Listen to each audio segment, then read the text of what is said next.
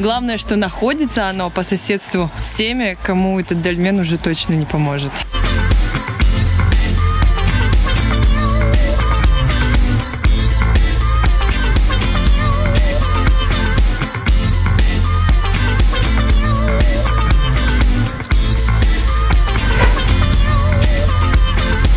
А так, смотрите, красота какая. Ух, просторища!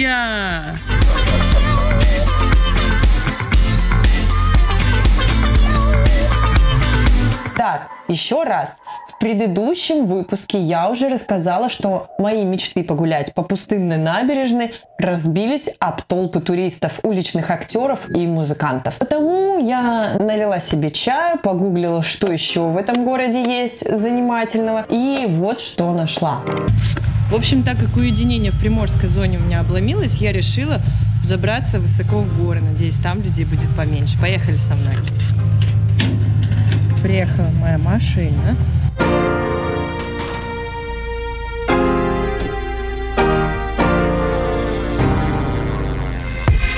Ну, в общем, как это назвали сами организаторы поездки, джипинг. Или по-русски экскурсия на джипе в горы. Садят тебя, значит, в УАЗик. Настолько плотно друг к другу, насколько это возможно. И везут. Еще везут. И по-прежнему везут. Перед глазами раскрываются скалистые пейзажи с усыпанными осенними красками перекатами. И еще примерный план маршрута. Первым нам предстояло увидеть доисторический памятник. Я так поняла, это особая гордость местных экскурсоводов. Пещерка, сложенная из здоровенных камней, именуется Дольмен здоровья. Две-три тысячи лет до нашей эры. Это все, что мне удалось узнать об этой конструкции.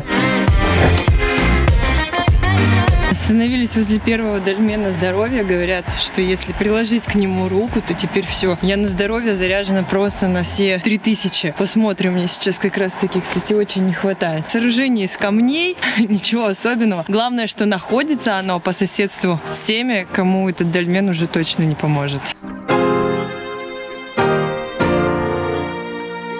А вот и денежные подношения камням. Порванные какие-то. Но истинные дольмены в деньги не верят.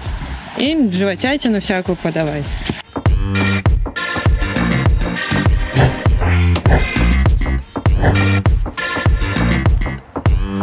Посмотрели, поддержались. Я даже проползла внизу под ним для того, чтобы снять для вас хорошие кадры. Кашу под оператора. Все, посмотрели, поддержались. Надо загадать желание. Я же забыла. Про здоровье. В общем, загадываю желание. Все, погнали дальше. Дальше по графику чаша любви. Малюсенький водопад, впадающий в небольшое озерцо. Романтичное название этому водоему придала якобы сердцеобразная форма. Я, правда, так и не нашла ракурса, с которого можно найти этому подтверждение. Тем не менее, есть легенда, что если достать камень самого дна чаши, то обязательно найдешь самую чистую, сильную и вечную любовь. Это один из минусов приехать в такое место в сезон. Вот это вот чаша, которая, я так понимаю, в сезон наполняется полностью, сейчас глубиной всего лишь 2,5 метра. Но зато проще гораздо выполнить предсказание вот это вот и достать камень со дна для того, чтобы иметь чистую, светлую любовь на всю жизнь постоянно. Для тех, кто ищет исполнение вот таких вот поверий, самое оно, вот пользуйтесь вам лайфхак.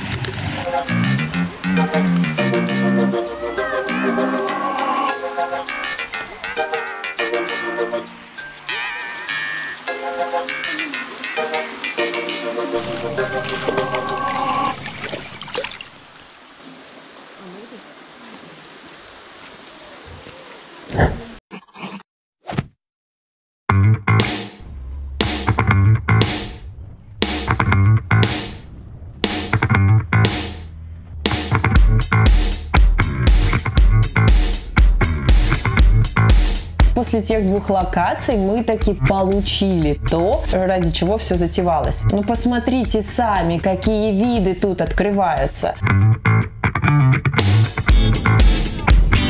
первая горная локация, какая-то там смотровая. В чем ее уникальность, я не очень запомнила, потому как для нас она была знаменательно выходом из кустов вот этого здоровеннейшего кабана. О май гада был. Мы, конечно, не стали сильно рисковать безопасностью, сняв пару кадров, разумеется, куда же без них, быстро запрыгнули в УАЗ и погнали дальше. Тут мы с вами подбираемся к тому самому месту, которым очень горды местные жители. По словам нашего гида, это самое, что ни на есть настоящая копия крепости, которая расположена в Чечне и знаменита событиями, которые частично описываются в фильме «Грозовые ворота». Вот здесь действительно место, где максимально тихо. Кроме шума ветра больше ничего нет. И виды, виды какие.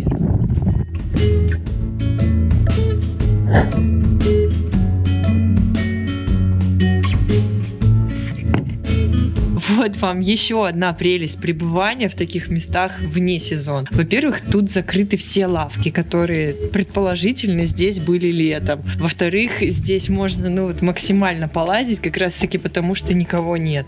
Вот здесь, что здесь может прятаться? Давайте посмотрим.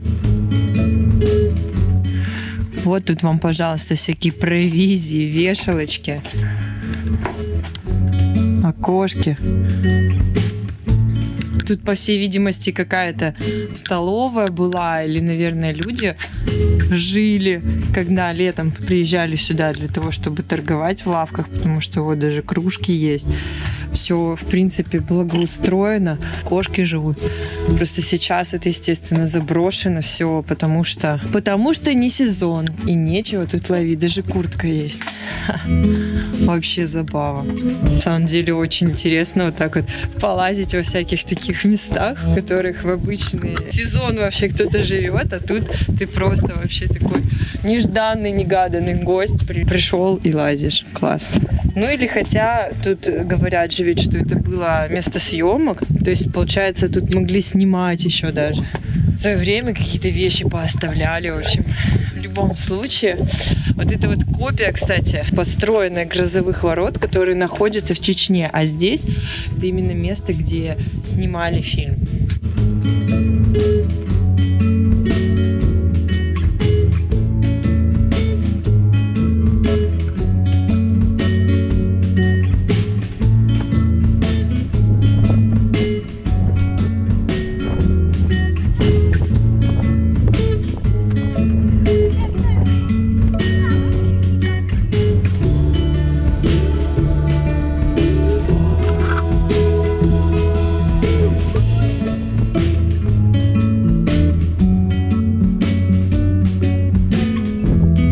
Всех таких местах все здорово, все, конечно, так атмосферно и прекрасно, но кроме вот каких-то моментов, когда ты заходишь и понимаешь, что здесь, блин, есть цивилизация, здесь вот, например, стул стоит, вот что он тут делает и откуда он тут взялся. Ну так вот, между прочим. Поставим стул, напомним, что офисная работа у тебя не за горами, чувак. Отпуск закончится, и тебе нужно будет снова ехать в твой любимый офис, сидеть на твоем любимом стуле. Ну,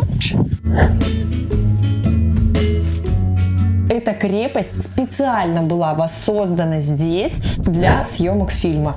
Я, если честно, его пока еще не видела, но если верить тем, кто смотрел, то в фильме крепость выглядит более эпично. Но было бы немного странно, если бы было по-другому.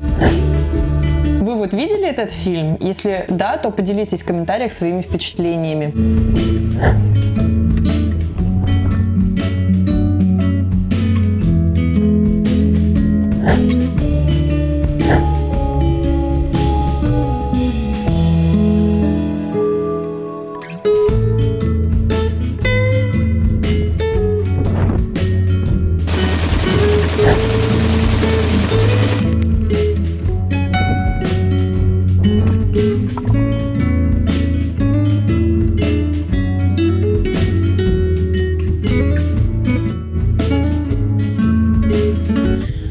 Во всем этом, конечно, много прекрасного, кроме одного но. Если есть возможность, лучше собраться со своей компанией или найти индивидуального гида и не торопясь проехаться, посмотреть, посидеть, где хочется посидеть. В общем, чтобы не было так, что сломя голову, быстро по локациям пробежались, потому что на самом деле здесь очень красиво, здесь очень чистый, насыщенный воздух, и здесь действительно можно залипнуть надолго. Единственное, что если вы с группой, то, конечно, вы не будете супер долго эту группу задерживать. А это, конечно, минус. А так, смотрите, красота какая. Ух, просторища!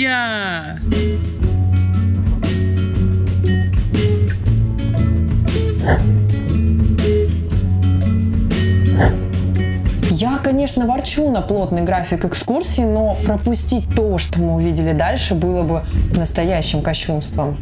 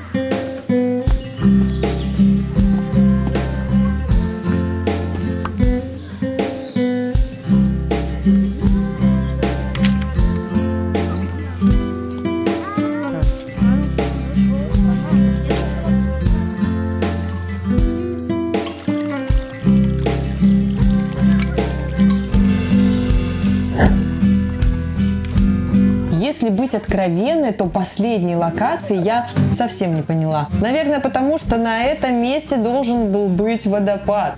Но, как видите, его нет. Потому что что?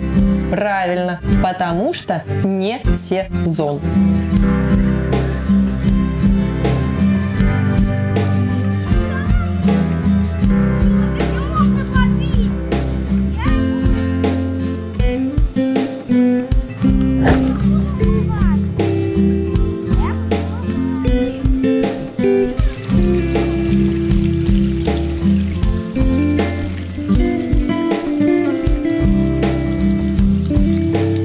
Так скажу.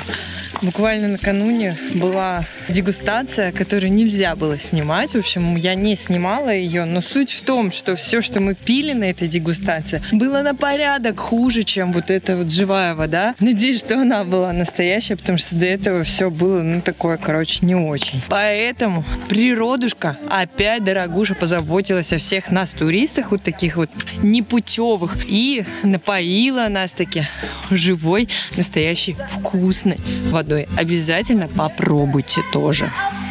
Потом стемнело, мы отведали здоровенный сочный кусок шашлыка, надеюсь, не с того самого кабана, что был в начале нашего путешествия. В нагрузку к мясу шел безлимитный хлеб и соус, все от местных поваров. За вполне демократичные 300 рублей, которые я честно перевела онлайн, как только мы вернулись домой, потому как в лесу сеть не ловила, а жизнь меня ничему не учит, и налички, как всегда, у меня не было. Итого, дорожные путешествия заняли весь день, оставили какие-то определенные положительные впечатления, классные фотки и вот этот вот выпуск, который, я надеюсь, заслужил вашего лайка. Если вы еще не подписывались на мой канал, обязательно сделайте это прямо сейчас. Поставьте колокольчик, чтобы не пропустить мои другие видео. Ну и скоро снова встретимся уже в Москве. С вами была Яна Алексеева, понаехавший влог. Пока-пока!